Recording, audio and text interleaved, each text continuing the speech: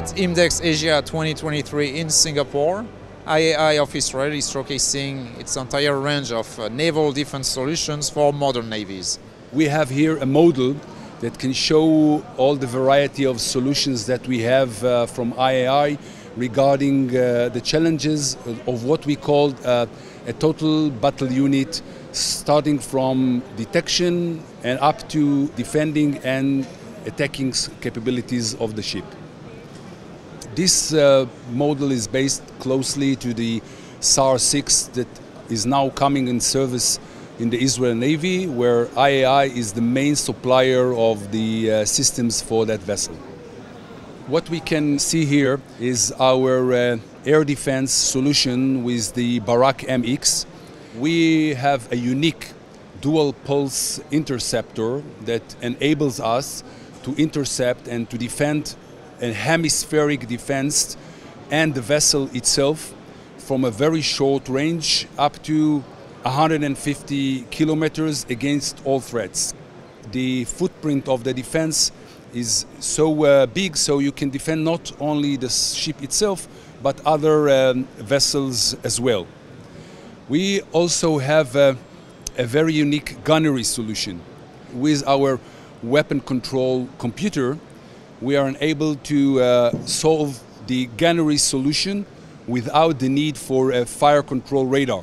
So we save all the uh, place and space on the mast for a dedicated fire control radar on one hand, and on the other hand, we can do multiple line of sights because our radar, unique MFR, which is a family of uh, radars, is a digital one accommodating multi-TRGs, transmit and receive uh, generators that are controlled by software and can have multi-beam of detection AESA radar against air, surface, and low signature targets.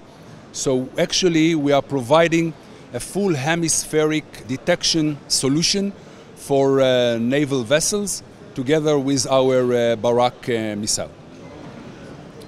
Uh, Oren, uh, moving amidship, uh, we see some other systems. This space is what we call the strike deck.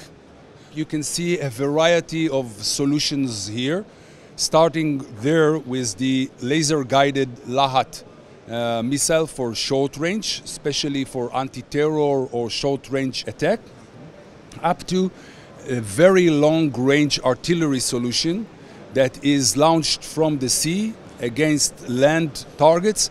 It can be high value uh, coastal radars, uh, command posts, and everything that is threatening our uh, combat uh, unit at sea. This is uh, a very powerful, uh, long range, more than 300 kilometers of, of a ballistic solution.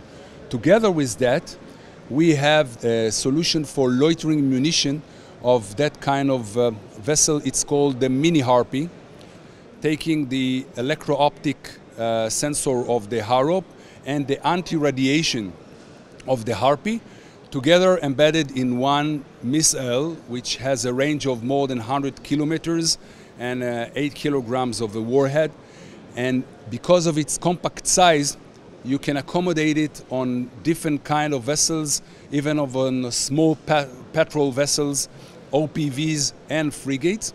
This is very relevant today for the uh, naval arena in what we call the gray zone.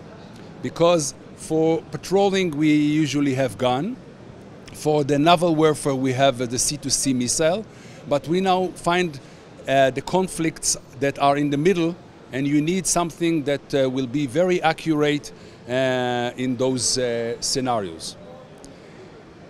And moving uh, aft, uh, so on the helicopter deck, you're showcasing uh, vertical takeoff UAV as well as like containerized solution. Definitely, this is very very important today. VTOL capability becomes an, a need in many navies. It will combine a maritime patrol radar and electro-optics for more than 12 hours of endurance that can be uh, landed on the flight deck very easily. And the last, last uh, new thing is our containerized capability.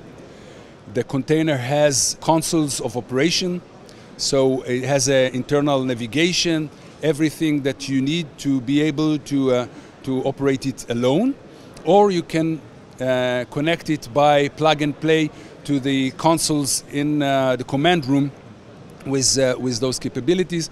And here you can have a variety of uh, capabilities starting from drone guard uh, up to uh, short air defense radar and also the strike capabilities from, from the variety you saw here.